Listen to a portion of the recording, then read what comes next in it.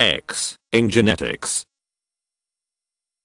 X. In genetics, although the letter X can be used as a symbol in various ways, such as with x-rays, the x-axis of a graph, etc., the X in genetics and medicine today usually refers to the X chromosome. The X is the sex chromosome that is found twice in chromosomally normal females and singly along with the Y chromosome in chromosomally normal males. The complete chromosome complement consisting of 46 chromosomes including the two sex chromosomes is thus conventionally written as 46, 20th for chromosomally normal females and 46, XY for chromosomally normal males.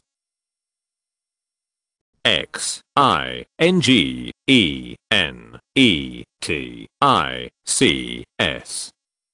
X, in genetics,